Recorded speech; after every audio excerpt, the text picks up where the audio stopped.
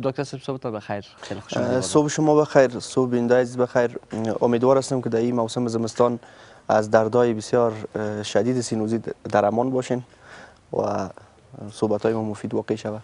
دقیقاً. خب دکتر صاحب سینوزیت چی است؟ خودش اول یک معلومات کلی اگر سینوزیت یا sinusitis التهاب paranasal sinus یا پوقانک های هوایی که در اطراف بینی در بین استخوان ها وجود داره.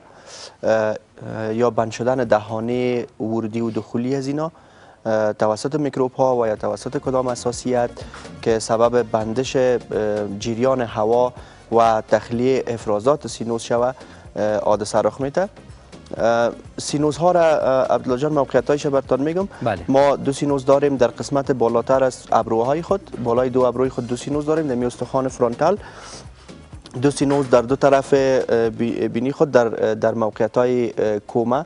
استخوانی که در این موقعیت قرار داره ایجاد دو سینوز است. دو سینوزی که پیش اطفال فعال می باشد در این موقعیت. کیره به نام اتمیویدال سینوز میگن؟ به بازی پسان که دیگه سینوزا فعال میشه بعد از سن 5 سالگی. اینا از فعالیت میمونه و پیش اطفال همی سینوزا التهاب میشه. و دو سینوز دیگه داریم به نام اسفینویدال که در زیر همی خود دماغ که وجود داره در پایینش یک استخوان است مثل شوپرک وره. و او شوپرک مانند استخوان در در قسمت های نزدیک تنه شوپرک در بالها دو سینوز کلان داره که وظیفه از این چی است رساندن اکسیژن به شکل بسیار سریع به دماغ گرم کردن اکسیژن و امی دو وظیفه بسیار زیاد مبرم و مهم سینوز است. که وقتی که ما به التهاب سینوز مواجه میشیم مجراهایی که داخل از اینا هوا داخل میشه و دوران می‌کنه و پس بیرون میشه و دیگه داخل از اینا کم کم افرازک های طبیعی دارن که مرتوب اینا رو نگاه کنه اینا باید به شکل دوامدار تخلیه شوه اینمی مانع میشه و یک درد بسیار طاقت فرس های ایجاد می‌کنه که کسایی که مرض سپری کردن حتما تجربه دارن و دردش بسیار زیاد است. اگر خب چی موضوعات باعث میشه که بالاخره با این مرض مواجه شه خب یکی خو هوای سرد.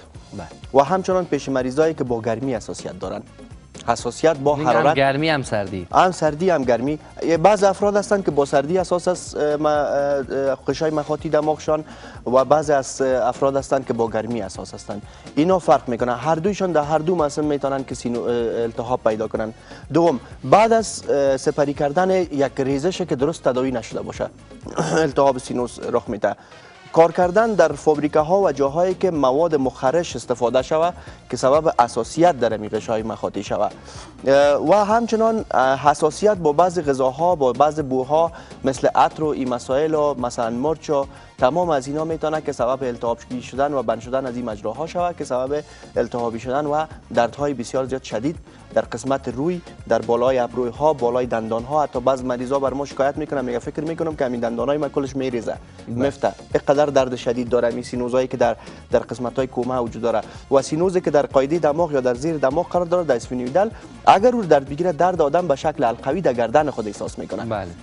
این امثال دردهای سینوز است که یک مرض واقعا کمک رنجاور است کمک دردآور است بسیار آزار میته مریض و متاسفانه که برازی کدام تداوی بسیار قطعی و خاص تا حال در دنیا پیدا نشده. طریقه های مختلف دکتر صاحب استفاده می‌کنن سینوز ها را می‌شوین آنتی بیوتیک میتن اسپری ها استفاده می‌کنن همه مهم است کل از اینا مهم است که ما نباید بگذاریم که سینوزی شویم اگر یک بار در زندگی خود یک شخص یک کس سینوزی تجربه می‌کنه باید برای بار دیگه از همونطور یک حالت قرار گرفتن در همونطور یک حالت جلوگیری بکنه. مثلا خب حالا چطور می‌تونیم؟ از چه راه نگذاریم که ما سینوزی شویم و با این مشکل روبرو شویم راهش چی است؟ راه های راه های بسیار خوب داره. راههایی داره که ما می‌تونیم که شامل lifestyle یا همو شیوه زندگی خود بسازیم که از این مرض جلوگیری شود. چرا که بسیار مهم هم است. فعالیت سینوز و جور بودن و سالم بودن و صحتمند بودن سینوز بر دماغ ما بر خود مغز ما بسیار زیاد مهم است و خود همین دردی که ایجاد می‌کنه حتی سبب مشکلات روانی میشه و بسیار گپ خوب است. خب چند گپ باید در نظر بگیریم. در قدم اول همیشه کوشش بکنیم که مجاری بینی خود با آب نمک بشویم کسایی که مساعد به این مرض است یک مقدار آب نمک یا سیروم های نمکی می‌تونن استفاده بکنن و این سیروم های نمکی سبب میشه که امو مجراها را پاک نگاه کنن میکروب های اضافی که در ساعه رشد می‌کنه او از بین ببریشانه و امو افرازاتی که قرار داره که قرار است مجراهای خروجی سینوزه بند کنه اونا را پاککاری می‌کنه. اه، همچنان قطر قطره های بینی که ساختمان ساختار نمکی داره یا قطره های نمکی استفاده کردنش بسیار زیاد خوب است. انشاق بخار بخار آب جوش بسیار گپ خوب است که استفاده بکنن.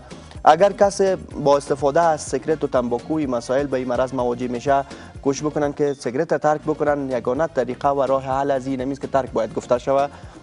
و کسی که در فابریکه های کار می‌کنه که در اوج مواد مخرج است و خودش هم حساس است بهتر است که شغل خود تغییر بده. در غیر از او با این مرض با تمام با عمرش به این مرض مبتلا می باشه یا جنجال. یعنی از همین خطراتی که وجود داره آدم خود یک اندازه دور کنه.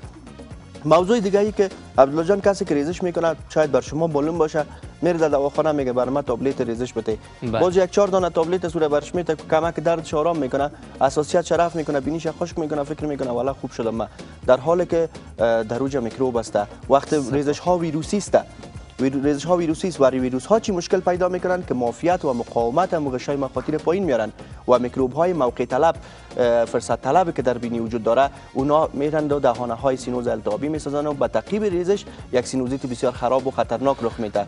یعنی ریزش باید تداوی شود نزد دکتر مراجعه شود و تداوی منظم گرفته شود. در غیر از او همیشه ما که متوجه شدیم مردم دیدیم به تعقیب ریزش به سینوزیت مبتلا شدن بیچاره و این از همین خاطر است که فکر یک می‌کنن. ریزش بسیار یک مرض ضعیف است. هیچ مشکل پیدا نمی‌کنه بر آدم سپاس دکتر سپاس. شما آرزوی موفقیت دارم و سپاس دیدی که معلومات خوب را ارائه کردین. و من حداقل فهمیدم که بالاخره چگونه بتونم جلوگیری بکنم از اینکه به سینوزیت مواجه نشم و راه های جلوگیریش چی است.